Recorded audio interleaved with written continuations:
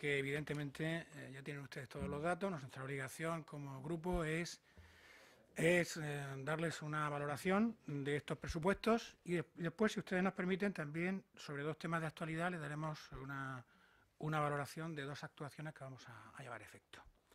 En primer lugar, eh, nosotros tenemos que decir que estos son los presupuestos que le dan cobertura contable y económica al estado del bienestar de los murcianos. Nosotros entendemos que estos presupuestos protegen el estado del bienestar, están comprometidos con el estado del bienestar y además nos preparan para salir de la crisis.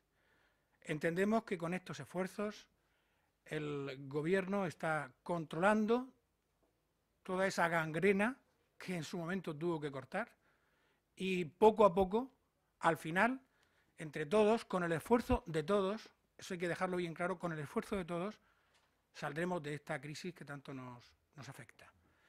Y esto no se hace nada más que con un, con un principio que tenemos todos claro.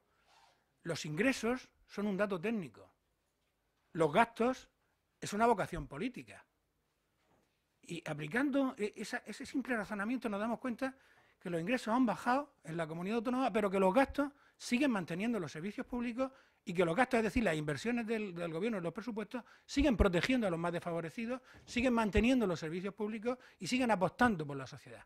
Bueno, pues eso es lo que nosotros decimos, clara y rotundamente. Son unos presupuestos comprometidos con la sociedad murciana y con la situación que estamos viviendo. Al margen de ello, como les he dicho, también quiero hacerles dos apuntes que nada tienen que ver con esta intervención, pero sí en función de mi condición de viceportavoz del Grupo Parlamentario Popular. Por tanto, voz autorizada para decirle a ustedes que ayer en la Asamblea se produjo un grave hecho, la vulneración del artículo 116 por parte de un grupo de invitados, o en concreto uno o dos invitados del Grupo Parlamentario Socialista.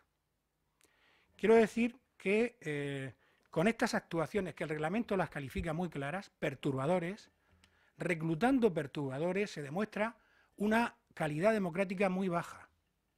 Y que si la señora Teresa Rosique al menos se disculpó, el resto de responsables del PSOE en Cartagena, que son políticamente los responsables de que ayer sucediera lo que sucedió, es decir, una grave perturbación de la normal, del normal desarrollo de una actuación democrática, es decir, doña Caridad Ribes y doña Ana Belén Castejón, que además trabaja en esta casa y es secretaria general de los socialistas cartageneros, dan muy poca imagen democrática. Y desde luego, un político de su nivel lo que tiene que hacer es no recolectar hooligan en la calle y traerlos a, a la Asamblea Regional y sí trabajar en pos de Cartagena. Es una pena que esa energía no la empleara en su día la señora Ribes para reclamar al gobierno de Zapatero el, centro de Parkinson en Cartagena. O tantas y tantas cosas. O el agua que necesita el campo cartagenero. Es una pena que, sin embargo, se quieran convertir en adalides en alumnos aventajados del cojo manteca. Esto no se puede admitir y desde luego desde el grupo parlamentario y este diputado eh, regional hará cuantas actuaciones sean necesarias y estén a mi alcance para que perturbaciones como la que ayer se produjeron, con insultos gravísimos hacia, un, hacia, una persona, pues eh, no se vuelvan a producir. Y por último también apuntarle a ustedes un tema de máxima actualidad que, tengo que decirles. Eh, es que ayer el Congreso, el Congreso puso a los socialistas de esta región de espaldas a la pared como a los malos estudiantes.